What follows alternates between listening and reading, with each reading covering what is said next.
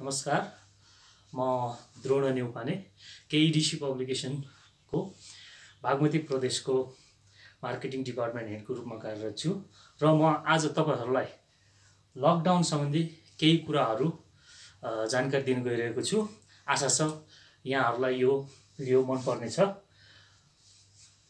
यो विगत केही समयदेखि नोबल कोरोना भाइरस कोभिड नाइन्टिनको कारणले गर्दा अहिले विश्वव्यापी रूपमा यो महामारीबाट बच्नको लागि पुरै विश्व अहिले लकडाउनमा छ। र लकडाउनको सम्बन्धमा धेरै कन्फ्युजनहरू पनि हामीले देख्ने गरेका छौँ।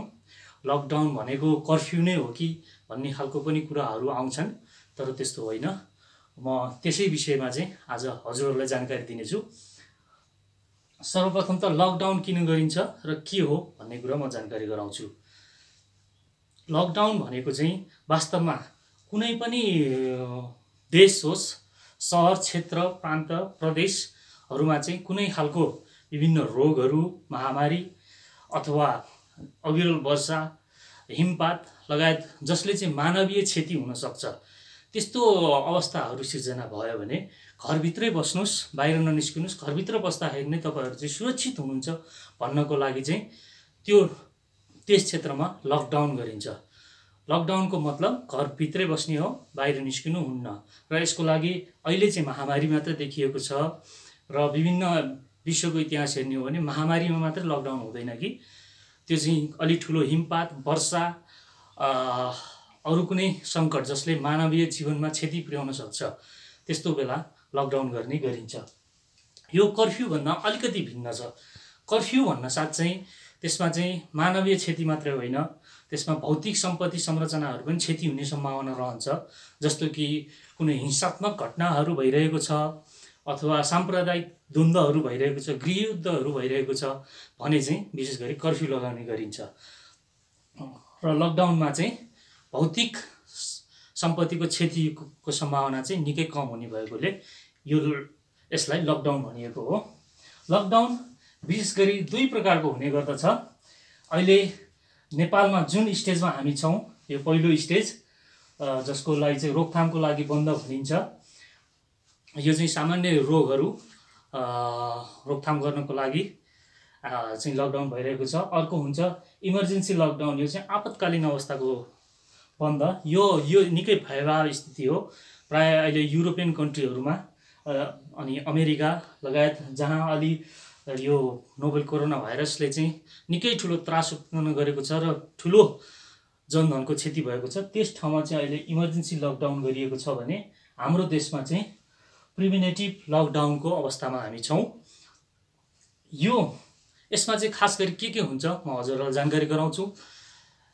पहिलो स्टेजमा चाहिँ सामान्यतया खाद्यान्न लगायत अलि दैनिक जीवनमा आवश्यक पर्ने वस्तुहरूको ढुवानी बन्द हुँदैन र व्यक्तिहरूलाई आवश्यकता परेको खण्डमा कतै जानु परेमा पासको व्यवस्था गरी स्वतन्त्र पूर्व- पूर्वक हिँड्न डुल्न दिइन्छ। यो लकडाउनमा आवश्यकता अनुसार फ्लाइटहरू पनि चल्ने गर्छन् र सीमाहरू पनि बन्द हुँदैन। सीमाहरू पनि खुला हुन्छ आवश्यकता अनुसार। तर त्यसको लागि पासकै व्यवस्था हुन्छ। लकडाउन भन्नसाथ सुरक्षित रोगबाट अहिले जुन रोग देखिरहेको छ त्योबाट सुरक्षित रहनको लागि गर्ने हो। त्यसैले हामी घरभित्रै बसौँ भनेर चाहिँ यो गरिएको हुन्छ। यसमा कुनै राज्यको निकायबाट अथवा सुरक्षा निकायबाट कुनै ठुलो बल प्रयोग गरिँदैन। यदि मानिसहरू बाहिर निस्केको खण्डमा उहाँहरूलाई सम्झाइ बुझाइ गरिन्छ र घरमै बस्नु भनिन्छ। अर्को छ आपतकालीन अवस्थाको लकडाउन यो चाहिँ अलिकति भयावह स्थिति हो।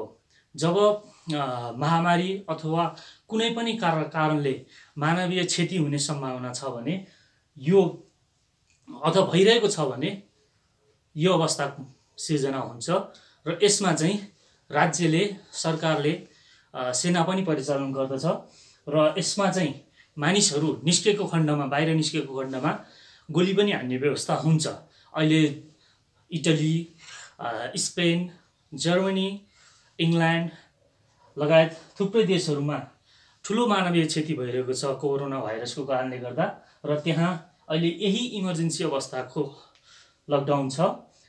जसमा कोही पनि मान्छेहरू बाहिर निस्केमा यहाँ यहाँ यो दे यस्ता देशहरूमा चाहिँ गोलीसम्म हान्ने गरिन्छ। तर यस्तो अवस्था नेपालमा नआओस्। जुन कि हामीले यस्तो अवस्था आजसम्म भोग्नु परेको छैन। हाम्रो देशले विगतमा दुई हजार बहत्तर सालमा महाभूकम्पको फेस गरिसकेको छ र त्यो बेला पनि आठ दस हजारमा मान्छे मर्दाखेरि हामीले जे गर्न सकेका थियौँ यो निकै भयावह स्थिति हो। त्यसैले घरभित्रै बस्नुहोस् सुरक्षित रहनुहोस् र भिडियो मन परेमा सेयर पनि गरिदिनु होला। धन्यवाद।